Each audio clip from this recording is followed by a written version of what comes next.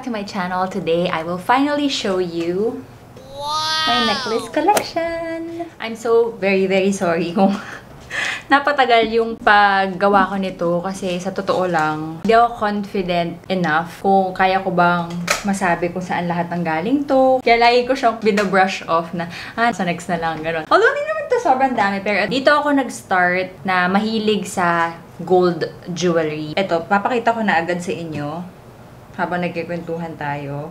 This is my very first piece of jewelry. Hindi ko alam kung ito yung very first or yung hikaw ko nung bata ako kasi tayo namang lahat na girls, yun yung unang jewelry natin. So, I have no idea kung nauna bang ibigay ng mommy ko to or nauna bang butasan yung tenga ko. But anyway, I grew up wearing this one. Actually, na-stock na dun sa taas yung isang pendant. Pero dalawang pendant to.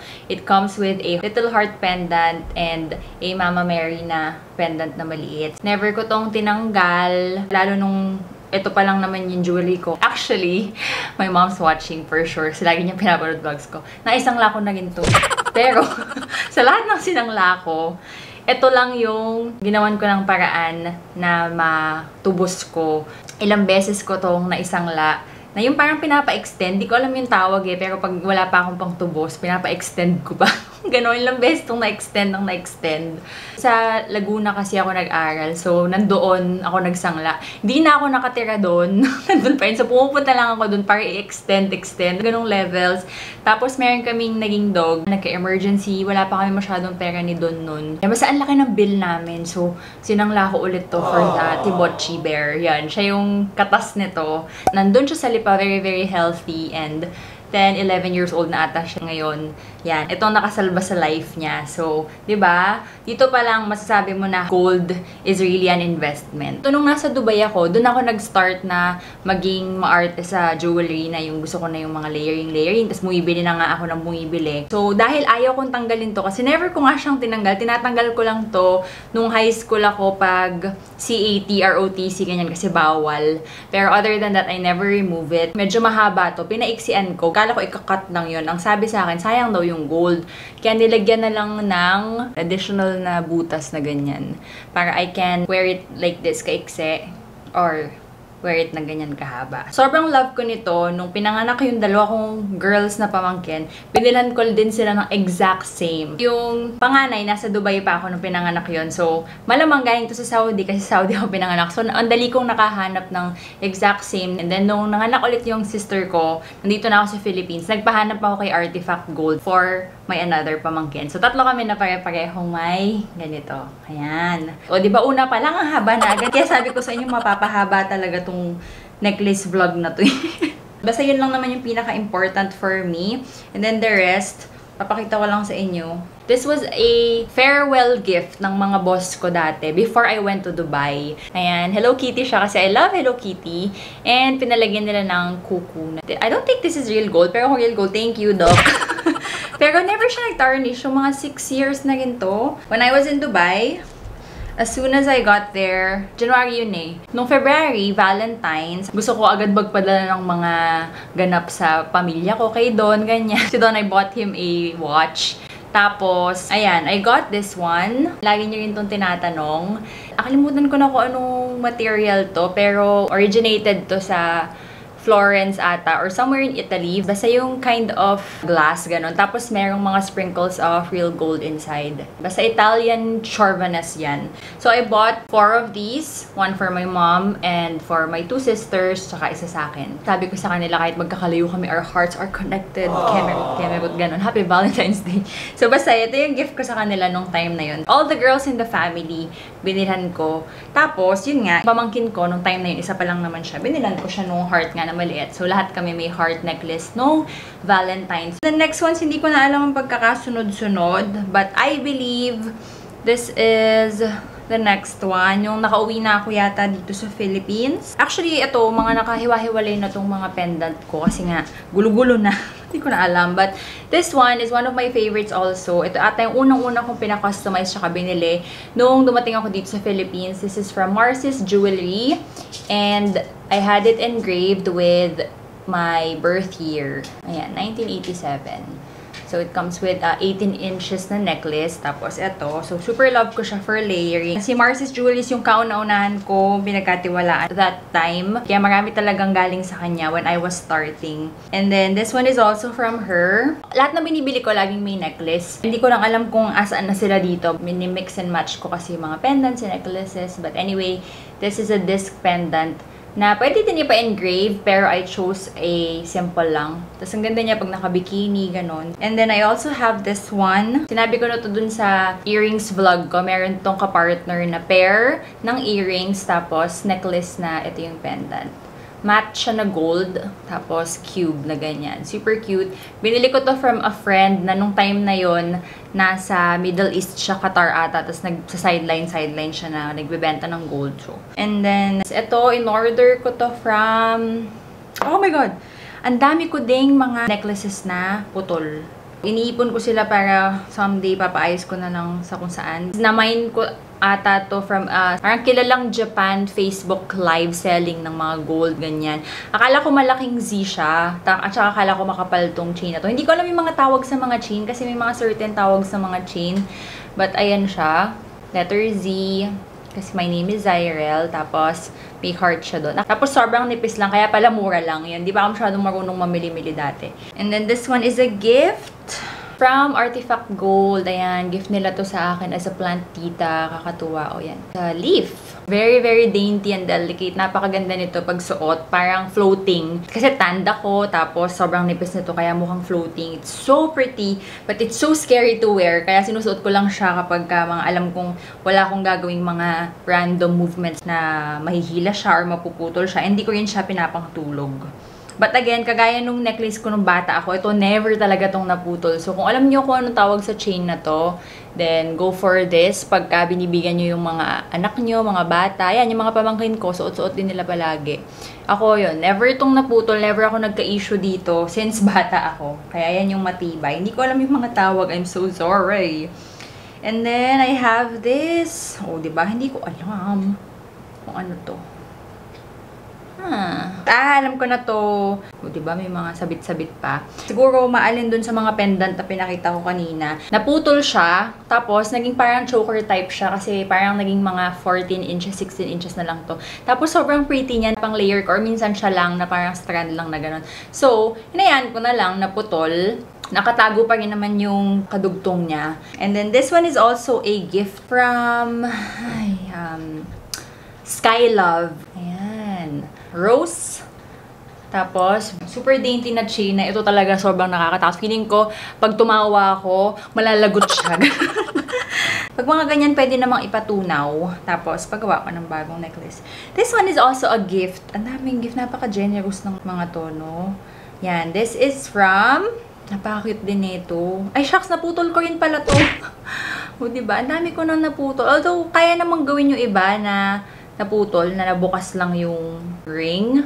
But this one is from Artifact Gold also. Suki ko yan yan si Artifact that time. Kasi nung kakauwi ko pa lang dito nga, kay Marcy's ako bumibili lagi. But most of na binibili ko sa kanila, mga customized or medyo mas higher end. Pero pagka nasa budget kayo, doon ako kay Artifact. Kasi yung may-ari nun, nung time na yun, FA siya, nasa Saudiya. So, sinusource niya talaga from the Middle East. Kaya it's very affordable. Although ngayon, hindi na siya doon nagsusource, ginagawa na ng mga platero natin locally. Kaya nakatulong din tayo sa mga nawalan ng trabaho, di ba? Ah, bibilihin ko dapat to, in order ko. Tapos biglang sabi nila sa akin, igigift nila to sa akin nung December. Parang mga January ko, tinanong ko magkano to. Eh. Tapos sabi, sakto, ito din daw yung iniisip nilang i-gift sa akin nung birthday ko nung December. Pero hindi nila na-send sa dami ng ganap.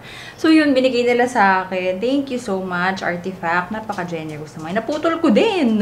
Suot ko ata to nung nag-attend ako ng binyag. Tapos pagka hila ng pamang pamangkin ko na inaanak ko, ayun, naputol. This one naman is from Skylove also. Si Skylove naman, they contacted me, they wanted to give me a gift nga, ayun, yung rose. Tapos ganun nga kasi ako, kapag kinokontakt ako ng jewelry store, I make it a point to check out yung mga paninda nila. And I try to buy something also. Kasi hindi naman biro magbigay ng alahas, ba diba? Tapos ito yung nakita ko. Ay, ito ba yung una kong binili sa kanya? Hindi ko na maalala guys ha. Basta binili ko to kay Skylove medyo mas makapal na chain. Tapos gustong gusto ko to because this is 22 inches ata to or 24. Although hindi siya yung sobrang mabigat na medallion kasi sobrang mahal naman nun. Alam yun, ganun. Si Jesus, tapos si Mama Mary and Baby Jesus. Dalawang side yung pendant niya. This one, favorite ko rin to. And I also got it from Skylove. And naputol ko din. Ay, nako, araw-araw ko kasi suot. Di kasi ako nagtatanggal ng necklace kapag natutulog or ganyan. Kaya yun, ang dami ko napuputol.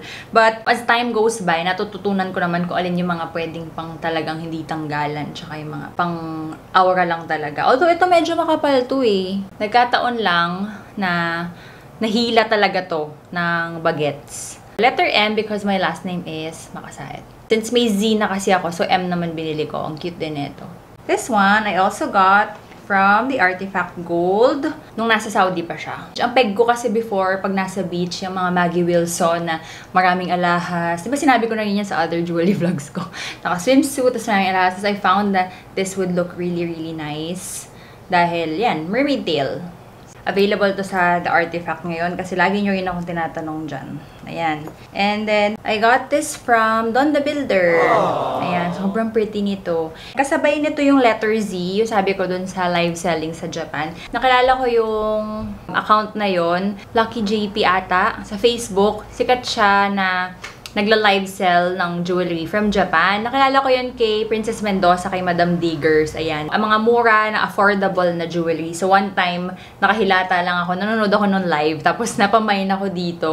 Sobrang pretty. Actually, tatlo yung namain ko nung time na yon So, ito, it has a diamond a teardrop pendant. Tapos, yung letter Z nga, tsaka may diamond studs na maliliit, na merong certificate. Binudol ko si Don, bago ako mag-mine, sabi ko, libre niya ako. 1,000 subscribers ako dito sa YouTube, so sakto. Yun yung gift niya sa akin, o ba diba? Budulan, ang ganda. Sobrang ganda ng diamonds from Japan, grabe. Although, in-unfollow ko na yun after nung first transaction na yun kasi nakaka heartbreak talaga. Kailangan mabilis ka. Tapos alam mo yun, napapaibig ka na. Tapos hindi mo nakuha. So ayoko nung ganun. Nasa-stress ako. And then this one is one of my favorites. Pero hindi ko alam kung bakit di ko siya madalas na isusuot. Nakakalimutan ko eh. Ayan. Hindi ko din alam kung ano tawag dito. But at one point na uso din to. So of course, sinend ko kaagad kay Artifact Gold. Gumiganito sila. So nice, no? Actually, gusto ko pa sanang bumili ng ganito na ibang length. Kasi ang ganda niya, sobra i-layer. I super love it. Ayan. Ito yung bawal talagang i-everyday kasi natutupi siyang ganun pagka nahigaan. Very flat lang siya. And then this one is one of the very first na binili ko rin as my everyday jewelry. Kay Artifact ulit. Di ba kanento ko na to dun sa isang vlog ko na unboxing my everyday jewelry skeme. Na nandito nga lang tayo sa bahay, hindi tayo lumalabas. Doon ko na-realize na wala ako masyadong everyday jewelry na pwedeng andito lang sa house, ganun. So, nag-build ako ng ganun.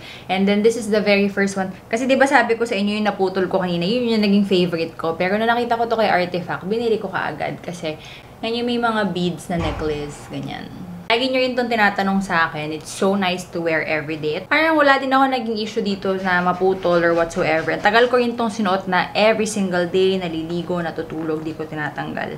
Di din siya nagka-issue. And then after that, ito pala, suot-suot ko. Pinagawa ako from Adornos kasi it kind of looks like yung naputol ko na pinapang daily. But this one has my initials. O, di ba, meron akong Z, meron din akong M. So, nagpagawa ko ng ZM.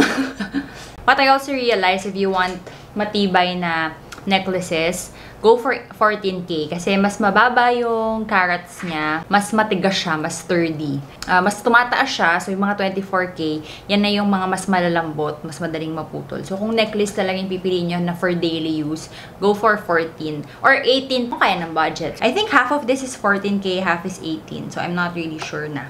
Pero ito, sure na sure akong 18K kasi medyo pinondohan natin to. Diba? So nice. So yan. ZM. Nag-send lang ako ng peg kay Adorno's Jewelry. And, yun, pinagawa ko to. Makapal yung chain. And sobrang mabigat siya for this tiny necklace. Mabigat siya. So, kung kailangan natin magsangla sa panahon ng kagipitan, either ito or itong ang baby necklace ko ang ipanglalaban ko sa gera. Sorry ah, teka, si Barkley. Makatok na naman. Patapos na yun naman tayo. Hold on. Last two. O, ba Patapos na. Nauso naman tong paper clip na necklace for layering. And every single day, nagpo-post si Marcy's Jewelry. Kaya nakakainis eh. Kaya kapag nagtitipid ako, ina-unfollow ko talaga lahat yung mga tukso na yan eh. Kasi the more na nakikita ko, the more na parang bumabaon siya ng bumabaon ng bumabaon sa utak ko na parang, you need that, you need that, you need that. so yun, siguro isang linggo ko siya nakikita na everyday pinopost. Ay nako girl, napamain na talaga ako. Sobrang light lang din. 18k pala to. Ayan, nakalagay naman kasi dyan. Ayun, and then lastly, oh, di ba last na. Um, I don't know what this is. Ah, grabe. Kawawa naman to. Ito yung, yan, 18k din to. Ito yung kasama nung binigay ni Don na diamond. But naputol ko na rin siya agad. Actually, inaanak ko yun na nakaputol habang buhat-buhat ko. Although madali naman siyang maaayos din. Sobrang manipis din. Kaso nga lang, dahil nga inaraw-araw ko, since bigay siya ni Don, nagkaroon siya ng buhol. Ayan. Hindi ko alam, my God. Ayan, sobrang-sobrang nipis ito. Kaya ang ganda-ganda niya pag suot ko to with the diamond necklace. Kasi parang floating lang din dito yung diamond. Napaka-dainty. Yun, sobrang ganda lang talaga ng mga dainty. Kaso yun nga, kailangan bawal kang gumalaw. Bawal kang tumawa. Bawal kang Those are everything, all of my necklace collection right now. If you are wondering, these are yung mga silica gels. So, every time na nakakakuha ko ng mga ganito, and you can get this from anywhere. Automatic nilalagay ko dito. Nilalagay ko sa mga jewelry ko. Dati, nakalagay siya isa-isa sa mga packaging na kasama. But then, ilang beses ako nawalan. Na out of sight, out of mind. Di ko na alam kung asan sila. So, I figured, since dumadami na sila, bibili na ako ng mga tray para I can see everything. Tsaka, nung napanood ko yung vlog ni Heart, ng jewelry niya, yun, nainggit ako na nakaganito yung kanya. So, bumili na rin ako. And you have to keep it in a velvet na lalagyan because, ano, basta may sinabi sila, hindi ko maalala. Basta yun, yun ang proper storing ng jewelry. Tapos, you have to always keep it away from moisture, dapat ilagay mo siya sa may proper circulation. Pagka nalalock yung moisture with them, kahit na hindi sila natatarnish, pero nag-iiba yung itsura nila, basta hindi kaaya-aya. Nangyari yun sa isa kong earrings. Kaya from now on, ganito ko sila sinostore. How I clean them, sinabi ko na rin before, I just babad it with Corinne for 1 to 5 minutes. Iwan ko lang doon. Hindi naman kasi sila nagiging sobrang maduming madumi. But if nangyari na sobrang madumi, after that, you just use a very, very soft na bristles sa toothbrush. Brush nyo lang. And then, punasan nyo, okay na. Pwede ding Thieves Household Cleaner. Hindi ko pa natatry though, but ang dami ko na nakitang gumagamit nun. But ako kasi personally, kaya ako na-discover yung Corinne dahil sa panglinis ng jewelry. So, yun na talaga yung go-to ko na panglinis ng jewelry. I hope you guys enjoyed this video. Maybe the next jewelry video that I'm gonna do is about diamonds kasi nagkaroon na tayo ng mga kapirasong diamond pieces and I would really like to share with you my thoughts about it kasi laging gold. And yun, meron akong suki na humingi din ako ng a few tips and advices about diamonds that I want to share with you guys. But I'll do that next time. For now, thank you so much for watching and for waiting for this vlog. I hope you enjoyed it. If you did, please give this a thumbs up please subscribe and click the bell button para updated kayo on my next videos. Bye!